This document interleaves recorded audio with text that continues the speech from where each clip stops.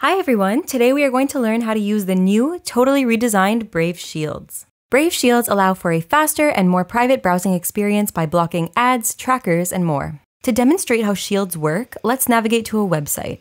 I'm going to head over to ESPN.com. The Shields button, represented by a little lion icon, can be found in the top right of your URL bar. When you click on it, a panel will pop up. Brave Shields are on by default, but you can put them down at any time you like. At the top of the dashboard, you can see how many ads and trackers have been blocked on this particular site.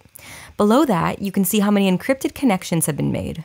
But in this case, there are none. You can actually click on either of these figures to expand them for a list of the particular elements that were either blocked or upgraded. Below that, you have your cookie control menu, where you can choose to block all cookies, block only third party cookies, or allow cookies. Then you have your script blocking menu where you can choose whether or not you want to block scripts. Finally, you have your device recognition menu with similar options. It's important to note that this particular dashboard is site specific. Notice at the top of your Shields panel where it says Shields up for this site and ESPN.com in large text.